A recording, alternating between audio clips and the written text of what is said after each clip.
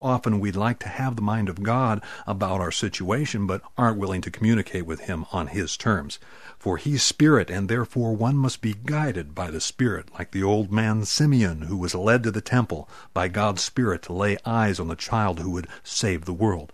And like Ezekiel was led to the valley of the dry bones by the Holy Spirit, you must be led as well. And yes, even Jesus, who was led into the wilderness to be tempted by the devil, you must be led by the Spirit of God. Romans 8:14 says, "All who are led by the Spirit of God are children of God, for we are to live by the Spirit and not gratify the desires of the flesh," according to chapter 5 of Galatians, which also says, "And if we live by the Spirit, we are to be guided by the Spirit." Are you guided by the Spirit, friend? It's interesting that the parents of John the Baptist came to the revelation of what name to give him by the leading of the Holy Spirit.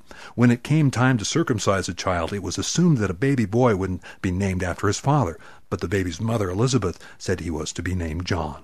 Now, John's father, Zacharias, was mute and could not hear the name his wife had given his son. But when asked what to name the child, he took a writing tablet as noted in Luke 1:63, and wrote the name John. Scripture says that those witnessing this were amazed.